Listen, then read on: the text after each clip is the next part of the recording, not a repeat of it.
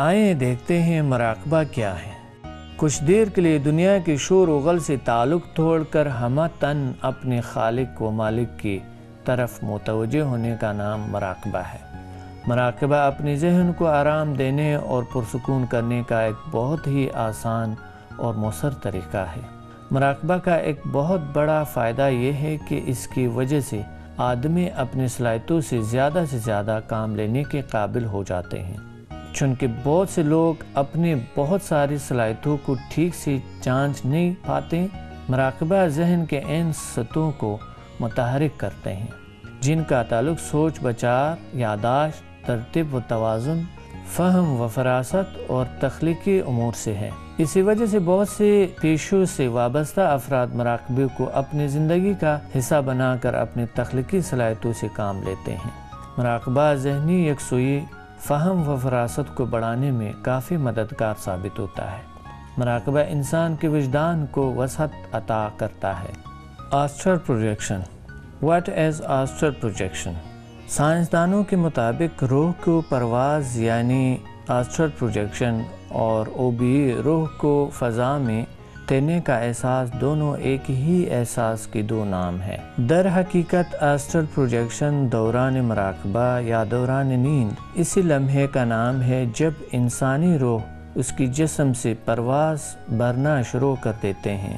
اسی لمحے کو آسٹر پروجیکشن کہا جاتا ہے۔ انسانی دماغ میں یہ خصوصیت ہمیشہ رہی ہے کہ وہ مادی دنیا سے آگے کا سفر کر سکیں۔ ہم کائنات کے جس حصے میں رہتے ہیں، وہ ایک خاص مادی پلانٹ پر واقع ہے۔ اس پلانٹ کی خاص لہریں ہیں اور اس کائنات میں ہر ایک مدار میں کسی خاص ویبریشنل حصے کے ساتھ اپنے مدار میں چکر لگا رہے ہیں۔ جیسے یہ دنیا ایک خاص ڈائمنشن پر موجود ہے، جو کہ مادے پر مبنی ہے۔ اس طرح اور بھی بہت سے دنیایں ہیں۔ آباد ہے مختلف ڈائمنشن پر۔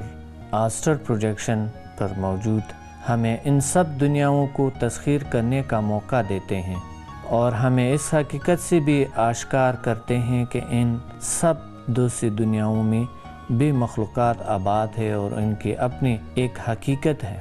میڈیٹیشن کے فائدے۔ آرام کرنے کا مطلب صرف یہ سمجھا جاتا ہے کہ آدمی لیٹا رہے یا کوئی ایسا کام نہ کرے جس سے جسمانی توانائی ضائع ہو۔ لیکن آرام کا یہ تعریف مکمل نہیں ہے۔ بہت سے افراد ظاہری طور پر پرسکون دکھائی دیتے ہیں، لیکن اندرونی طور پر پریشان خیالوں میں مبتلا رہتے ہیں۔ خیالات کا تانوں بانوں میں الجھی رہنے سے دماغ تھک جاتا ہے اور توانائی کا ذخیرہ تیزی سے ختم ہو جاتا ہے۔ یہ بات سب جانتے ہیں کہ ایک سوئی تندرستی کے لیے کتنی ضروری ہے۔ اور مسلسل پریشان رہنے سے بیماریاں لاحق ہوتی ہیں۔ توانائی زیادہ مقدار میں خرچ ہونے سے قوت مدافعت کمزور پڑ جاتے ہیں اور امراض حملہ کر دیتے ہیں۔ اعصابی قوت کمزور ہو جائیں تو دماغی افعال سس پڑ جاتے ہیں۔ قوت میں کمزوری آ جاتی ہیں اور قوت حافظہ متاثر ہوتے ہیں۔ قوت فیصلہ کم ہونے کے بنا پر زندگی کے مراحل میں خاطر خواہ کامیابی حاصل نہیں ہوتی ہے۔ تجربات نے یہ ثابت کر دیے ہیں کہ ذہنی الجھاؤ بلاخر جسمانی بیماریوں کی صورت میں سامنے آتے ہیں۔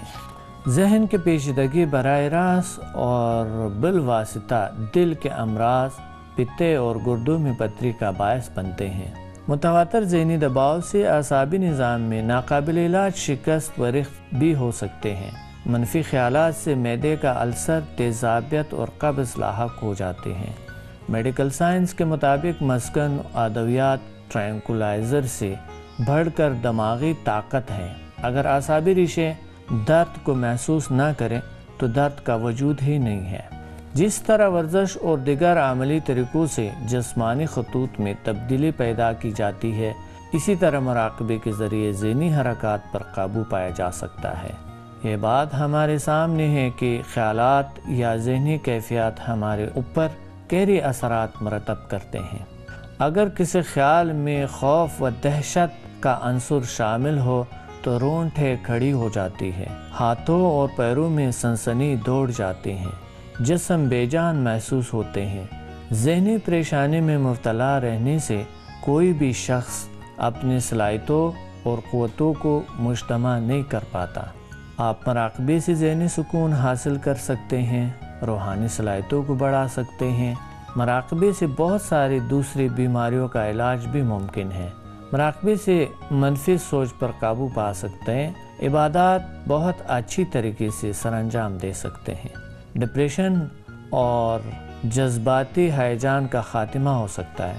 پریشانی اور مشکلات میں کمی آ سکتی ہے قوت یاداشت میں بہتری آ سکتے ہیں۔ قوت فیصلہ کی صلاحیت بہتر ہو سکتے ہیں۔ بے خوابی سے نجات اور گہری نیند میں اپنے آپ کو لے جا سکتے ہیں۔ ڈر اور خوف کے خلاف ہمت اور بادری پیدا ہو جاتی ہے۔ عدم تحفظ کا احساس اور مستقبل کے اندیشوں سے نجات مل جاتی ہے۔ مراقبے کرنے والے خواتین و حضرات کو وسوسے نہیں آتے ہیں۔ حسد ختم ہو جاتے ہیں۔ مراقبے میں کامیابی کے بعد آدمی، جادو، ٹونے، بھوت، پریت آسیب اور منفی خیالات سے آزاد ہو جاتے ہیں۔ خون کے دباؤ پر کنٹرول کر سکتے ہیں۔ قوتی حیات میں اضافہ ہوتا ہے۔ بصارت میں تیزی آتے ہیں خون کی چکنائی میں کمی واقع ہوتے ہیں تخلیقی قوتوں میں اضافہ ہوتا ہے۔ چڑچڑے پن میں کمی واقع ہوتے ہیں۔ دل کی کارکردگی میں بہتری آتے ہیں۔ قوت سماعت میں بہتری آتے ہیں۔ بیماریوں کے خلاف قوت مدافعت میں اضافہ ہوتا ہے۔ میڈیٹیشن پریکٹیکل عملی طور پہ میڈیٹیشن کا آغاز کریں گے۔ شروع شروع میں جب آپ مراقبے کرنے بیٹھیں گے تو آپ کی ذہن میں لاتعداد باتیں آئیں گے۔ لیکن روزانہ کے کام کاج کا لکھنا اور اس پر عمل کرنا بھی مراقبہ ہے۔ اپنی منزل کی تلاش یا پی میں رہنا بھی مراقبہ ہے۔ پی کا مطلب ہے پریزنٹ پازیٹیوٹی اینڈ پاور یعنی حال میں رہنا اور مثبت رہنا اور اپنے آپ کو طاقت سمجھنا کہ آپ اشرف المخلوقات ہے طاقتور ہے پاورفل ہے اور پوزیٹیو ہے اور مثبت ہے تو یہ بھی مراقبہ ہی ہے، یہ بھی ایک عبادت ہے۔ حال کو استعمال کرنا ایک بہترین مراقبہ ہے۔ ذمہ دار بننا بھی مراقبہ ہے، مثبت سوچ بھی مراقبہ ہے۔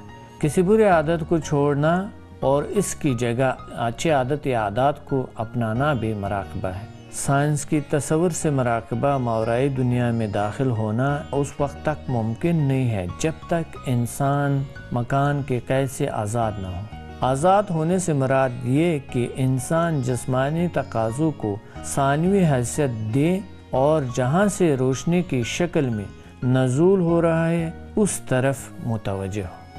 اس کا آسان طریقہ یہ ہے آپ کسی پرسکون جگہ پر جہاں پر گرمی، سردی نارمل ہو بیٹھ جائیں، ہاتھ، پیر اور جسم کو ڈھیلا چھوڑ دیں اور اپنے اوپر ایسی کیفیت طاری کر لیں جس کیفیت میں ذہن، جسم کی طرف سے ہٹ جائیں۔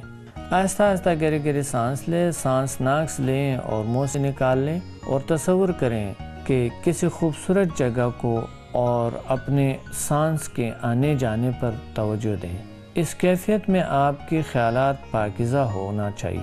ذکر کے ذریعے مراقبہ۔ کسی پرسکون جگہ پر بیٹھ جائیں اور چند گہرے گہرے سانس لیں۔ تھکاوٹ اور ذہنی دباؤ کو کم کرنے کے لیے کچھ مقدس الفاظ کا ورد کریں اور اپنے سانس پر توجہ دیں۔ اسی طرح آپ اس کیفیت میں پانچ منٹ یا دس منٹ تک بھی بیٹھ سکتے ہیں۔